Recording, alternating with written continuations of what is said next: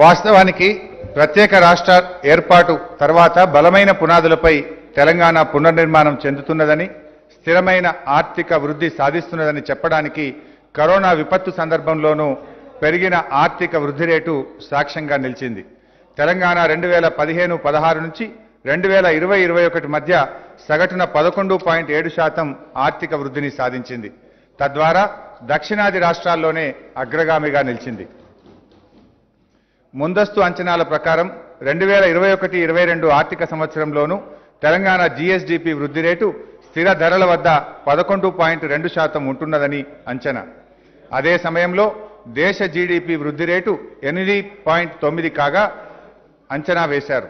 ప్రస్తుత ధరల వద్ద రాష్ట్ర జీఎస్డిపి వృద్ధి రేటు పంతొమ్మిది పాయింట్ ఒక శాతంగా అంచనా వేస్తే దేశ జీడిపి వృద్ధి పంతొమ్మిది పాయింట్ నాలుగు శాతంగా ఉండనుంది.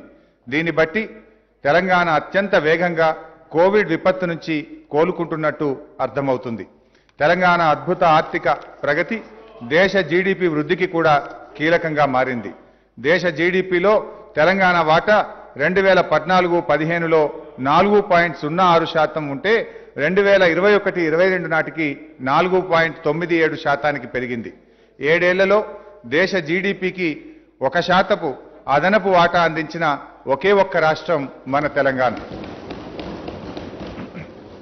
తెలంగాణది సమ్మిళిత వృద్ధి. ఏ ఒక్క రంగం మీదనో ఆధారపడి లేదు. ముఖ్యంగా రెండు వేల ఇరవై ఇరవై ఒకటిలో పారిశ్రామిక సేవా రంగాలలో అద్భుతమైన వృద్ధి రేటు నమోదు చేశాయి. ఉత్పత్తి నిర్మాణ రంగాలు కలిగి ఉన్న ద్వితీయ రంగం ప్రస్తుత ధరల వద్ద ఇరవై ఒకటి పాయింట్ ఐదు శాతం వృద్ధిని నమోదు చేసింది. అంతకుముందు ఏడాది వృద్ధి మైనస్ జీరో పాయింట్ త్రీ శాతంగా ఉంది. సేవల రంగం సైతం పద్దెనిమిది పాయింట్ మూడు శాతం వృద్ధి రేటును సాధించింది. అంతకుముందు ఏడాది వృద్ధి పాయింట్ నైన్ శాతం మాత్రమే. తలసరి ఆదాయ పెరుగుదల కోణంలో చూసినప్పుడు తెలంగాణ ఆర్థికంగా వృద్ధి సాధించడంతో పాటు జీవన ప్రమాణాల పెరుగుదలలో అద్భుతమైన ప్రగతిని సాధించింది. రెండు వేల పద్నాలుగు పదిహేనులో రాష్ట్ర తలసరి ఆదాయం లక్షా ఇరవై నాలుగు వేల ఒక వంద నాలుగు రూపాయలు. ఇది ఆనాటి దేశ తలసరి ఆదాయమైన ఎనభై ఆరు వేల ఆరు వందల నలభై ఏడు రూపాయల కంటే నలభై మూడు శాతం ఎక్కువ. రెండు వేల ఇరవై ఒకటి ఇరవై రెండు నాటికి రాష్ట్ర తలసరి ఆదాయం రెండు లక్షల డెబ్బై ఎనిమిది వేల ఎనిమిది వందల ముప్పై మూడు రూపాయలకు పెరిగింది. జాతీయ సగటు ఆదాయమైన లక్ష నలభై తొమ్మిది వేల ఎనిమిది వందల ఎన్- నలభై ఎనిమిది రూపాయల కంటే ఇది ఎనభై ఆరు శాతం అధికం. జాతీయ తలసరి ఆదాయం కన్నా తెలంగాణ రాష్ట్ర తలసరి ఆదాయం రోజు రోజుకు పెరుగుతోంది. ప్రస్తుత ధరల వద్ద తలసరి ఆదాయ వృద్ధి రేటులో దేశంలోనే రాష్ట్రం అగ్రస్థానంలో ఉంది. రెండు వేల ఇరవై ఇరవై ఒకటిలో రాష్ట్ర తలసరి ఆదాయం పద్దెనిమిది పాయింట్ ఎనిమిది శాతం వృద్ధి రేటును సాధించగా జాతీయ వృద్ధి పద్దెనిమిది పాయింట్ ఒక శాతంగా నమోదైంది. రెండు వేల పద్నాలుగు పదిహేనులో దక్షిణాది రాష్ట్రాల్లో నాలుగో స్థానంలో ఉన్న తెలంగాణ రెండు వేల ఇరవై ఇరవై ఒకటి వచ్చేసరికి అగ్రస్థానానికి చేరింది. ఇది తెలంగాణ ప్రజల విజయం. తెలంగాణ స్థిరమైన వృద్ధి రేటును సాధిస్తుందని విపత్తులు ఎదురైనా వెనుకడుగు వేయదని దీన్ని బట్టి అర్థమవుతుంది. అంతేకాదు అతి తక్కువ కాలంలో వేగంగా వృద్ధి చెందుతున్న రాష్ట్రాల్లో ఒకటిగా నిలవడంతో పాటు ఎకనామిక్ పవర్ హౌస్గా మారిందని ఈ లెక్కలు స్పష్టం చేస్తున్నాయి. పేదల జీవితాలు మెరుగుపడినప్పుడే సాధించిన ఆర్థిక వృద్ధికి సార్థకత అని నమ్మిన ముఖ్యమంత్రి కేసీఆర్ గారు అభివృద్ధితో పాటు సంక్షేమాన్ని అనుసంధానించారు. ప్రజా సంక్షేమంలో తెలంగాణ దేశంలోనే ప్రథమ స్థానంలో నిలిచింది. దేశం నేడు స్వాతంత్ర అమృత మహోత్సవాలను జరుపుకుంటోంది. డెబ్బై ఐదేళ్ళ స్వాతంత్రం సాక్షిగా దళిత జాతి సాధికారత అనేది కలగానే మిగిలిపోయింది. దేశాన్ని ఏలిన పాలకపక్షాలు కొన్ని పథకాలు చేపట్టినా అవి అసంపూర్ణ ఫలితాలనే ఇచ్చాయి.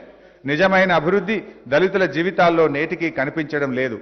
రాజ్యాంగం అందించిన రిజర్వేషన్ల ఫలితంగా దళితులు విద్యను ఉపాధిని పొందగలిగారు. అయినా దళితవాడలు పేదరికానికి ఆనవాళ్ళుగానే మిగిలిపోయాయి. మెజారిటీ దళిత జనం ఇంకా రెక్కల కష్టం మీదనే ఆధారపడి బతుకుతున్నారన్నది అంగీకరించాల్సిన చేదు నిజం. తెలంగాణ ప్రభుత్వం ఏర్పడినప్పటి నుంచి దళితుల అభివృద్ధి సంక్షేమం కోసం అనేక చర్యలు చేపట్టింది. షెడ్యూళ్ళు కులాల షెడ్యూళ్ళు తెగల సమగ్ర అభివృద్ధే లక్ష్యంగా ప్రత్యేక ప్రగతినిధి చట్టాన్ని ప్రవేశపెట్టింది. ఎస్సీ ఎస్టీల జనాభా దామాషను అనుసరించి కొన్నిసార్లు దామాషాకు మించి కూడా ప్రత్యేక నిధులు కేటాయిస్తోంది. ఒక ఆర్థిక సంవత్సరంలో కేటాయించిన నిధులు పూర్తిగా ఖర్చు కాని పక్షంలో ఆ నిధులు తర్వాత ఆర్థిక సంవత్సరానికి బదలాయించేలా చట్టంలో నిబంధన పెట్టింది. ఈ విధమైన చట్టం తెచ్చిన తొలి రాష్ట్రం తెలంగాణ. గడిచిన ఆర్థిక సంవత్సరంలో దళితుల కోసం చేసిన ఖర్చు వివరాలను గౌరవ శాసనసభ్యులకు ఎప్పట్లాగానే పెన్ డ్రైవ్ ద్వారా ప్రభుత్వం అందజేస్తుంది. భారతరత్న డాక్టర్ బిఆర్ అంబేద్కర్ ఆశయాల స్ఫూర్తితో దళిత జాతి ఆర్థిక ప్రగతి లక్ష్యంగా ముఖ్యమంత్రి కేసీఆర్ గారు దళిత బంధు అనే విప్లవాత్మక కార్యక్రమాన్ని ప్రవేశపెట్టారు. దళిత జాతి తరతరాలుగా అనుభవిస్తున్న పేదరికాన్ని సామాజిక వివక్షను అంతమొందించే ఆయుధం తెలంగాణ దళిత బంధు. ఈ కార్యక్రమం దేశానికే దిశానిర్దేశం చేస్తుందనడంలో ఎటువంటి సందేహం లేదు. దళిత బంధు కేవలం ఒక పథకం మాత్రమే కాదు దళితులకు ఉపాధిని ఆత్మగౌరవాన్ని అభివృద్ధిని వికాసాన్ని చేకూర్చే ఒక దృక్పథం ఒక సమర్థవంతమైన విధానం. దళిత జాతి ఆర్థిక ప్రగతి సాధించిన నేడి నాడు సామాజిక అంతరాలు క్రమక్రమంగా అంతరిస్తాయి. మానవ సంబంధాలు సమానత్వంతో పరిమళిస్తాయి. రాష్ట్రంలోని ప్రతి దళిత కుటుంబానికి ఉపాధి కోసం పది లక్షల రూపాయలు ఉచిత ఆర్థిక సహాయం అందించడం దళిత బంధులో ఒక భాగం. దేశంలో ఇంత పెద్ద నగదు మొత్తాన్ని ఏ పథకం ద్వారా ఏనాడు ఇవ్వలేదు. దళిత కుటుంబానికి ఇంతటి భారీ ఆర్థిక సహాయాన్ని నేరుగా అందిస్తున్న అతిపెద్ద నగదు బదిలీ పథకంగా దళిత బంధు చరిత్రకెక్కింది. గత ప్రభుత్వాలు దళితుల కోసం ప్రవేశపెట్టిన పథకాలను బ్యాంకు లింకేజీ కొలాటరల్ సెక్యూరిటీలతో ముడిపెట్టడం వల్ల ఆశించిన ప్రయోజనం దక్కలేదు. దళిత బంధు పథకానికి బ్యాంకు లింకేజీ లేదు సెక్యూరిటీలతో నిమిత్తం లేదు. అంతేకాకుండా లబ్ధిదారులు వారికి వచ్చిన పనిని నచ్చిన పనిని ఎంపుకునే ఎంపిక చేసుకునే స్వేచ్ఛ ఉంది. తిరిగి చెల్లించాల్సిన అవసరం లేకుండా గ్రాంట్ రూపంలో పెద్ద మొత్తంలో ఆర్థిక సహాయం అందివ్వడం తెలంగాణ దళిత బంధు పథకం గొప్పతనం. దళిత బంధు ద్వారా లబ్ధి పొందిన కుటుంబం ఏదైనా ఆపదకు గురైనప్పుడు ఆ కుటుంబ పరిస్థితి ఆర్థికంగా దిగజారిపోకూడదు. ఇందుకోసం దళిత రక్షణ నిధిని ప్రభుత్వం ఏర్పాటు చేసింది. ఆపద సమయంలో ఈ నిధి వారికి కవచంగా నిలుస్తుంది. వ్యవసాయ మార్కెట్ కమిటీల నియామకాల్లో రిజర్వేషన్లు ప్రవేశపెట్టిన మొట్టమొదటి ప్రభుత్వం తెలంగాణ ప్రభుత్వం. దీనివల్ల ఎంతోమంది దళితులు బడుగు బలహీన వర్గాల వారు స్త్రీలు మార్కెట్ కమిటీ చైర్మన్లు అయ్యే అవకాశం కలిగింది. దళిత బంధు పథకంలో భాగంగా దళితులు వివిధ వ్యాపార రంగాల్లో పైకి ఎదగడానికి ప్రత్యేక రిజర్వేషన్లను అమల్లోకి తీసుకొచ్చింది. ప్రభుత్వం లైసెన్సులు పొందే ఏర్పాటు చేసుకునే వైన్ షాపులు బార్ షాపులు వివిధ రకాల కాంట్రాక్టులు మొదలైన వాటిలో రిజర్వేషన్ల అమలుకు ప్రభుత్వం శ్రీకారం చుట్టింది. ఇటీవల రాష్ట్రంలో కొత్తగా ఏర్పాటైన రెండు వేల ఆరు వందల పదహారు వైన్ షాపుల్లో రెండు వందల అరవై ఒక్క వైన్ షాపులు దళితులకు కేటాయించింది. లైసెన్సులు పొందిన దళిత కుటుంబాలు ఇది తాము కలలో కూడా ఊహించని అద్భుతమని సంబురపడ్డాయి. దళిత బంధు పథకం ద్వారా మార్చి నెలాఖరు నాటికి నాలుగు వేల కోట్ల రూపాయలతో దాదాపు నలభై వేల కుటుంబాలకు లబ్ధి చేకూరబోతుంది. దళిత బంధు పథకాన్ని హుజురాబాద్ నియోజకవర్గంతో పాటు చింతకాని తిరుమలగిరి నిజాం సాగర్ చారుగొండ మండలాల్లో ప్రభుత్వం సంపూర్ణంగా అమలు చేస్తోంది. దాంతోపాటు రాష్ట్ర వ్యాప్తంగా నియోజకవర్గానికి వంద మంది చొప్పున వంద పద్దెనిమిది నియోజకవర్గాల్లో పదకొండు వేల ఎనిమిది వందల కుటుంబాలకు దళిత బంధు పథకం కింద ఆర్థిక సహాయం అందిస్తున్నది. వచ్చే సంవత్సరానికి రెండు లక్షల మందికి లబ్ధి చేకూర్చాలని ప్రభుత్వం నిర్ణయించింది. దశల వారీగా రాష్ట్రంలోని అన్ని కుటుంబాలకు దళిత బంధు ప్రయోజనాలు అందివ్వడం ప్రభుత్వం లక్ష్యం. రెండు వేల ఇరవై రెండు ఇరవై మూడు వార్షిక బడ్జెట్లో దళిత బంధు పథకం కోసం పదిహేడు వేల ఏడు వందల కోట్ల రూపాయలను ప్రతిపాదించడమైనది. తెలంగాణ ప్రభుత్వం గ్రామాలను పరిశుభ్రతతో పచ్చదనంతో సకల మౌలిక వసతులతో కలకలలాడేలా చేసింది. తెలంగాణ పల్లెలు సాధించిన ప్రగతి ప్రమాణాలతో పోల్చితే దేశంలో ఏ రాష్ట్రం కూడా మన దరిదాపుల్లో కూడా లేదు. ఇంత గుణాత్మకమైన మార్పుకు ప్రేరణగా నిలిచిన ముఖ్యమంత్రి గారికి ప్రత్యేకంగా కృతజ్ఞతలు తెలియజేస్తున్నాను. తెలంగాణ ప్రభుత్వం గ్రామీణ ప్రాంతాల సమగ్ర అభివృద్ధి ధ్యేయంగా అద్భుతమైన ఫలితాలను సాధిస్తోంది. పల్లె ప్రగతి అనే పేరుతో ప్రత్యేక కార్యాచరణను చేపట్టింది. పంతొమ్మిది వందల తొంభై నాలుగులో రూపొందించిన పంచాయతీరాజ్ చట్టం అనేక లోపాలతో అసమగ్రంగా ఉన్న కారణంగా నూతన పంచాయతీరాజ్ చట్టం అవసరమని ముఖ్యమంత్రి గారు భావించారు. రెండు వేల పద్దెనిమిది నూతన పంచాయతీరాజ్ చట్టానికి రూపకల్పన చేసి అమల్లోకి తెచ్చారు. తెలంగాణ ప్రభుత్వం ప్రవేశపెట్టిన నూతన పంచాయతీరాజ్ చట్టం గ్రామ పంచాయతీల నిధులను విధులను బాధ్యతలను స్పష్టంగా నిర్దేశించింది. తెలంగాణ ప్రభుత్వం పెరిగిన జనాభాకు అనుగుణంగా గ్రామ పంచాయతీల సంఖ్యను పన్నెండు వేల ఏడు వందల అరవై తొమ్మిదికి పెంచింది. పరిపాలనను సమర్థవంతంగా జరగడం కోసం ప్రతి గ్రామ పంచాయతీకి కార్యదర్శి ఉండే విధంగా తొమ్మిది వేల మూడు వందల యాభై ఐదు పోస్టులను కొత్తగా మంజూరు చేసి నియమించింది. పంచాయతీరాజ్ శాఖలో దిగువ స్థాయి నుండి అత్యున్నత స్థాయి వరకు అన్ని పోస్టులను భర్తీ చేసింది. పల్లె ప్రగతి పట్టణ ప్రగతి కార్యక్రమాల నిరంతర సమీక్ష పర్యవేక్షణ కోసం ఐఏఎస్ అధికారులను లోకల్ బాడీ అడిషనల్ కలెక్టర్లుగా నియమించింది. పరిశుభ్రతలోనే పరమాత్ముడు కొలువై ఉంటాడు అని మహాత్మా గాంధీ పేర్కొన్నారు. గతంలో పల్లెల్లో ఎక్కడ చూసినా చెత్తా చెదారం పాడుబడిన ఇండ్లు బావులు పిచ్చి మొక్కలు నీటి కుంటలతో దోమలకు నిలయాలుగా ఉండేవి. గ్రామ పారిశుధ్యాన్ని నిర్వహించడానికి కావలసిన సాధనాలు పంచాయతీ వద్ద లేకపోయేవి. తెలంగాణ ప్రభుత్వం పట్టుబట్టి పల్లెల స్వరూపాన్ని మార్చేసింది.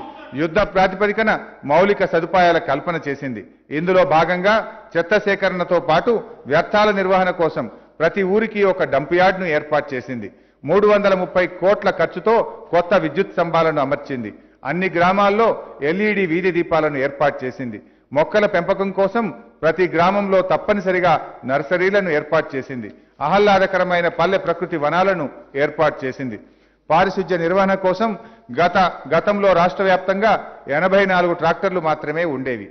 ఈ రోజు రాష్ట్రంలో పన్నెండు వేల ఏడు వందల అరవై తొమ్మిది ట్రాక్టర్లు ఉన్నాయి. ప్రతి గ్రామం ట్రాక్టర్ ట్యాంకర్ ట్రాలీ కలిగి ఉన్నది. పరిశుభ్రత పెరగడంతో ప్రజా ఆరోగ్యం మెరుగుపడింది.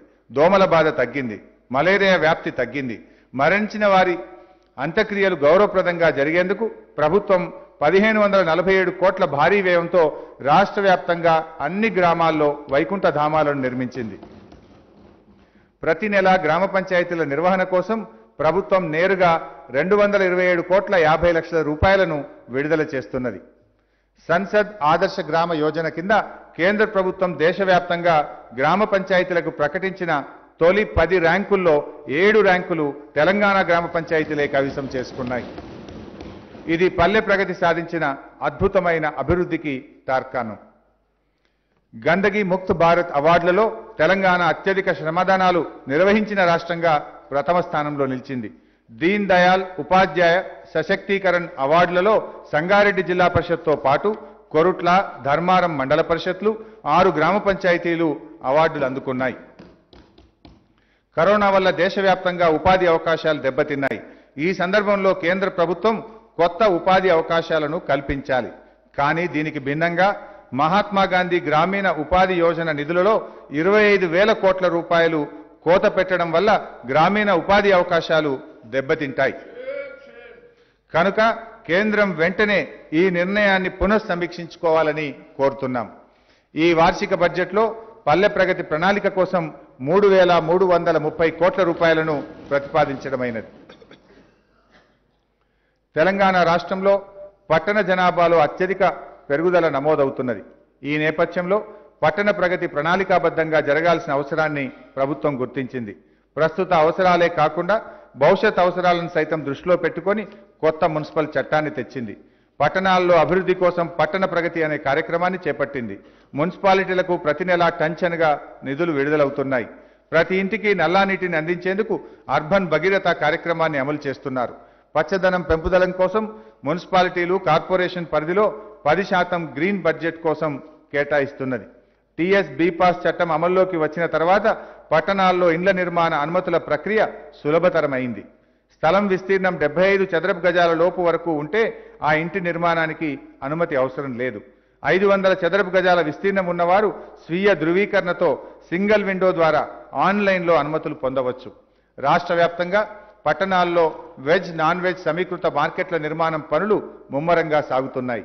పట్టణాల్లో మౌలిక వసతుల కల్పనకు టీయూఎఫ్ఐడిసి నిధులు మూడు వేల కోట్లు ప్రభుత్వం ఖర్చు చేస్తుంది.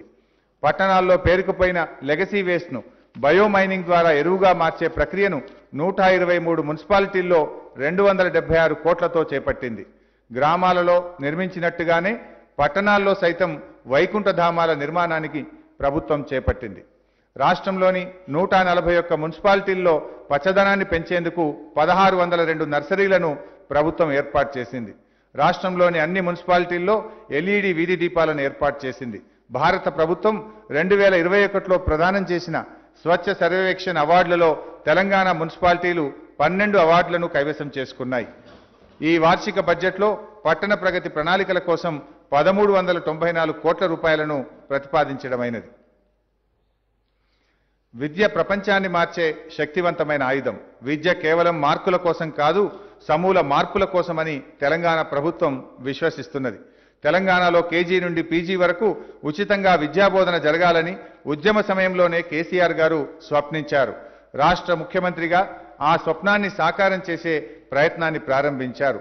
మొదటగా గురుకుల విద్యకు పెద్దపీట వేశారు. ఆరు దశాబ్దాల సమైక్య పాలనలో తెలంగాణ ప్రాంతంలో నామమాత్రంగా కొన్ని గురుకుల పాఠశాలలు ఉండేవి. అవి కూడా అరకొర వసతులతో ఉండేవి. తెలంగాణ ప్రభుత్వం ఏర్పడగానే ఇదివరకున్న గురుకులాలను పటిష్టపరిచి పెద్ద ఎత్తున నూతన గురుకులాలను స్థాపించింది. రాష్ట్ర వ్యాప్తంగా తొమ్మిది వందల డెబ్బై మూడు గురుకుల పాఠశాలల్లో తగిన వసతులు ఏర్పాటు చేసి విద్యార్థులకు నాణ్యమైన విద్యను అందిస్తున్నది. మహిళలు విద్యావంతులైతే యావత్ జాతి విజ్ఞానవంతమవుతుందని నమ్మిన నాయకుడు మన ముఖ్యమంత్రి కేసీఆర్ గారు. ముఖ్యంగా దళిత గిరిజన విద్యార్థులు చదువు మధ్యలో మానేయకూడదని ఆలోచించారు. అందుకని తెలంగాణ ప్రభుత్వం నలభై ఆరు మహిళా రెసిడెన్షియల్ డిగ్రీ కళాశాలలను ఏర్పాటు చేసింది. ఐదు మహిళా రెసిడెన్షియల్ డిగ్రీ కాలేజీల్లో పీజీ కోర్సులను ప్రవేశపెట్టింది. ఇంత పెద్ద ఎత్తున మహిళల కోసం రెసిడెన్షియల్ కాలేజీలను ఏర్పాటు చేయడం దేశ చరిత్రలో ఇది మొదటిసారి.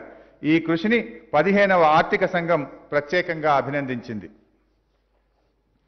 తెలంగాణ ప్రభుత్వం గురుకుల విద్యార్థులకు సన్నబియ్యంతో తిన్నంత భోజనం పెడుతుంది. ఉచితంగా యూనిఫామ్ పుస్తకాలు తదితర సౌకర్యాలను అందిస్తుంది. ఈ దేశంలో అత్యధిక గురుకుల విద్యాలయాలు కలిగిన ఏకైక రాష్ట్రం తెలంగాణ రాష్ట్రం. అంతర్జాతీయ విద్యా సంస్థలకు ధీటుగా నేడు తెలంగాణలోని గురుకులాలు విద్యను అందిస్తున్నాయి. తెలంగాణ రెసిడెన్షియల్ స్కూళ్ళలో చదువుకున్న విద్యార్థులు దేశ విదేశాల్లో మన రాష్ట్ర విజయ కేతనాన్ని ఎగురవేస్తున్నారు. ఐఐటి ఐఐఎం వంటి ప్రతిష్టాత్మక సంస్థల్లో ప్రవేశాలు సాధిస్తున్నారు. గురుకుల విద్యకు మొదటి దశలో పెద్దపీట వేసిన ప్రభుత్వం రెండవ దశలో ఇతర ప్రభుత్వ పాఠశాలలను బలోపేతం చేసే దిశగా దృష్టి కేంద్రీకరిస్తూ మన ఊరు మనబడి అనే బృహత్తర పథకాన్ని ప్రారంభించింది. రాష్ట్రంలో అన్ని పాఠశాలల్లోనూ ఇంగ్లీష్ మీడియంలో విద్యాబోధనను అందించడానికి ప్రభుత్వం శ్రీకారం చుట్టింది. పేదలకు ఆంగ్ల మాధ్యమం అందని ద్రాక్ష కాకూడదని వారు కూడా మిగతా ప్రపంచంతో సమానంగా ఎదగాలని రాష్ట్రంలోని అన్ని ప్రభుత్వ పాఠశాలల్లో ప్రభుత్వం ఇంగ్లీష్ మీడియంను ప్రవేశపెట్టబోతుంది. ఆధునిక అవసరాలకు అనుగుణంగా పాఠశాలల్లో మౌలిక వసతుల కల్పనకు పెద్ద ఎత్తున చేపడుతోంది. దేశ భవిష్యత్తు తరగతి గదుల్లోనే తయారవుతుందని కొఠారి కమిషన్ పేర్కొన్నది. తెలంగాణ ప్రభుత్వం పాఠశాల తరగతి గదులను ప్రపంచంతో అనుసంధానం చేసేందుకు డిజిటల్ విద్యను ప్రోత్సహిస్తుంది. రాష్ట్ర వ్యాప్తంగా ఏడు వేల రెండు వందల ఎనభై తొమ్మిది కోట్ల రూపాయలతో దశల వారీగా పాఠశాలల్లో అభివృద్ధి పనులకు ప్రభుత్వం చేపడుతుంది. ఇది గ్రామ స్థాయిలో అయితే మన ఊరు మనబడి అనే పేరుతో పట్టణాల్లో అయితే మన బస్తీ మనబడి అనే పేరుతో అమలవుతుంది.